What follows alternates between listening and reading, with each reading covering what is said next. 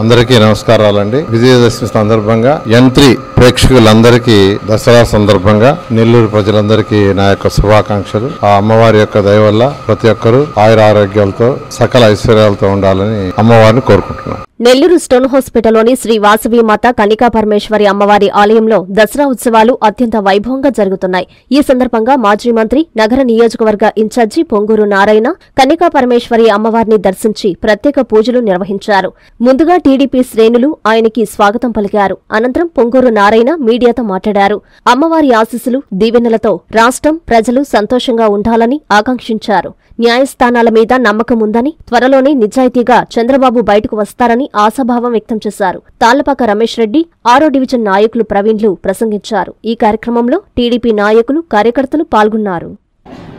అమ్మవారిని జరిగింది. ఈ రాష్ట్రంలో ఉన్న ప్రతి ఒక్కరూ సకల ఐశ్వర్యాలతో ఆయురారోగ్యాలతో ఉండాలని కోరుకోవడం జరిగింది.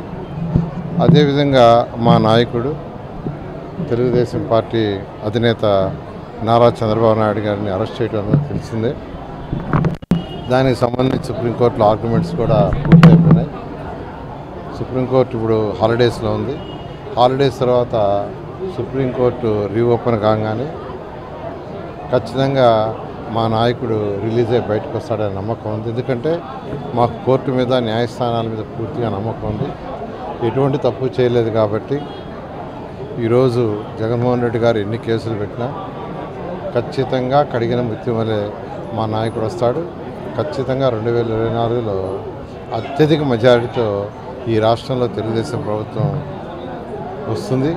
వచ్చిన తర్వాత ప్రజలకి ప్రజల యొక్క అవసరాలు ఎంతసేపటికి గ్రెడ్జి సాధించడం ఎవరిని ఎలా అరెస్ట్ చేస్తాం ఎవరిని పోలీస్ స్టేషన్ పిలుస్తాం అనేది కాకుండా సుపరిపాలన అంటే ఒక పక్క సంక్షేమం పేదలకు సంక్షేమాలు చేయాలా రెండో పక్క డెవలప్మెంట్ చేయాలి. డెవలప్మెంట్ చేయకుంటే యువతకి ఇంకా భవిష్యత్తు ఉండదు.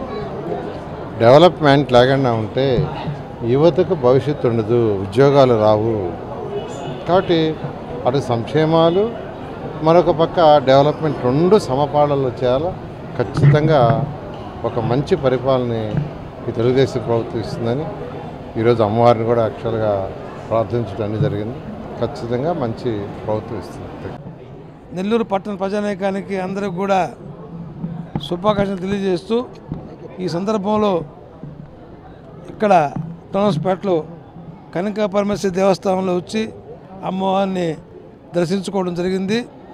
ఆ సందర్భంగా ఇది ఇప్పుడు మన సార్ ఏ విధంగా చెప్పాడో నారాయణ సార్ గారు అదేవిధంగా ప్రతి ఒక్కరూ కూడా తెలుగుదేశం పార్టీ కార్యకర్తలు కోరుకుంటున్నారు. భవిష్యత్తులో మళ్ళీ పార్టీ అధికారం వస్తుందంటే దానికి క- కక్ష కట్టి ఈరోజు మా నాయకుడిని చంద్రబాబు నాయుడిని అరెస్ట్ చేసి నలభై రోజులుగా జైల్లో పెట్టున్నారు.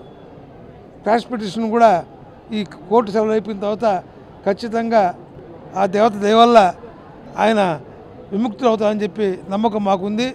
ఆ విధంగా ముక్తులైన వెంటనే అన్ని కార్యక్రమాలతో పాటు భవిష్యత్తులో కూడా అభివృద్ధి కార్యక్రమాలు కూడా మా పార్టీ అధికారంలోకి వస్తే ఇంతకుముందు మీరు చూశారు.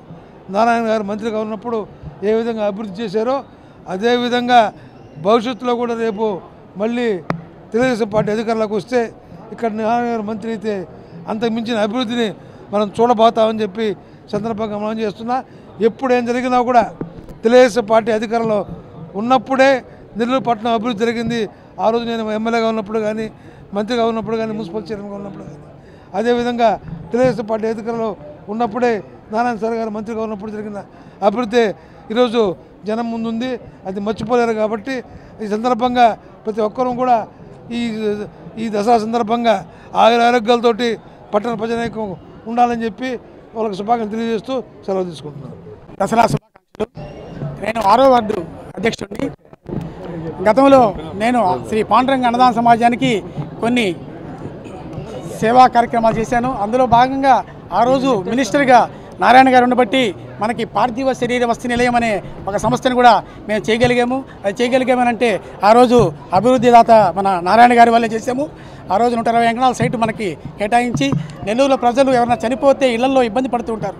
అటువంటి వాటికి స్థలం లేక పెట్టుకోవడానికి బాడీ ఇబ్బంది పడుతూ ఉంటే మేము నారాయణ గారిని కోరినందువల్ల ఆ రోజు అజీజ్ గారు కూడా మనకి మున్సిపల్లో మేయర్గా ఉన్నారు. మేయర్ గారికి చెప్పి ఆ స్థలాన్ని కేటాయించి షార్ట్ టైంలోనే ఓపెన్ చేసి దాన్ని దిగ్విజయంగా ప్రజలు అందరూ ఉపయోగించుకుంటున్నారు. ఇప్పుడు కూడా ఒకటే మన చంద్రబాబు నాయుడు గారిని అక్రమంగా అన్యాయంగా కేసులు పెట్టి లోపల పెట్టినారు. అవన్నీ ఏమీ నిలబడవు. ఆ ధైర్యము అందరికీ ఉంది. అలాగే ఈసారి నారాయణ గారిని యాభై వాళ్ళ వేల ఓట్లతో గెలిపించాలని అందరినీ కోరుకుంటూ అమ్మవారిని ప్రార్థిస్తున్నాను. నమస్కారం అండి ఎన్ త్రీ. టీవీ ప్రేక్షకులందరికీ విజయదశమి శుభాకాంక్షలు. అమ్మవారి దయ ప్రతి అందరి మీద ప్రతి ఒక్కరి మీద ఉండాలని ఆ తల్లి అందరినీ ఆయురారోగ్యాలతో ఐశ్వర్యాలతో దీవించాలని ఆ దీవెనలు అందరికీ కలగాలని మనస్ఫూర్తిగా కోరుకుంటున్నాను.